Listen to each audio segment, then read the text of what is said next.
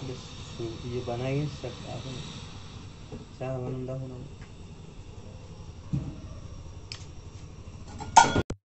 नमस्कार दोस्तों स्वागत करते हैं आपके अपने यूट्यूब चैनल एडीबी टेक्निकल में। आज हम बात करेंगे ये पिकनिक स्टोव के बारे में दोस्तों। एक का, काफ़ी शानदार और अच्छी तरीके से कंपनी बनाया बना- बनाया हुआ है। पिकनिक जाने जाते समय आप स्टो का इस्तेमाल कर सकते हो ये खाना वाना बनाने के लिए।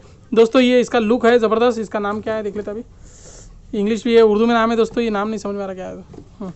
ये देखिए आप नाम ज़बरदस्त। नाम नहीं ये स्टोव देखिए आप। दोस्तों अब इसको खोलेंगे। ये देखो ऐसे इस तरह से खुलता है ये। पहले हम सीख लेंगे बाद में तुमको सिखाएँगे। एक नंबर चीज़ है ये। ये तो मैंने पहली बार देखा मेरे इसमें लाइफ में। हम ट्रैकिंग पे बहुत बार जा चुके हैं। पूरा बिहार जिला हमने ट्रैकिंग किया हुआ है। पर ऐसा स्टोव हमने कभी नहीं देखा दोस्तों ये स्टोव है। अब ये स्टोव है दोस्तों यहाँ पे अपने को एक गैस की जो टंकी है वो लगाना पड़ेगी। अभी हम लगाएँगे गैस की टंकी। ये दोस्तों ये आप गैस की टंकी देख रहे हो। वर्लपूल कंपनी की डिस, डिस्पोजेबल गैस कैन दोस्तों आप इसको इसको दबाओगे रे जंग से? क्या करने का इसको आप? नहीं फटना नहीं होना बाबा।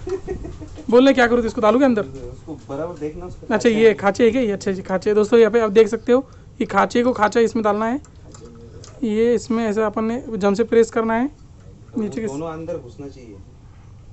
अच्छा ये इसको हम्म, इसको ऐसा अंदर और उसको प्रेस कर उसको प्रेस करके इसको राउंड राउंड घुमा। ये दोस्तों बैठ चुका है। ये इस अरे बात आ रही है तो है। ये देखो ये दे, ये देखिए दोस्तों शानदार तरीके से यहाँ पर वाला है। ये देखिए अब ये स्टैंड हो चुका है। आप दोस्तों दूसरी खास बात बोले तो इसको एक मैं आपको बता देना चाहता हूँ।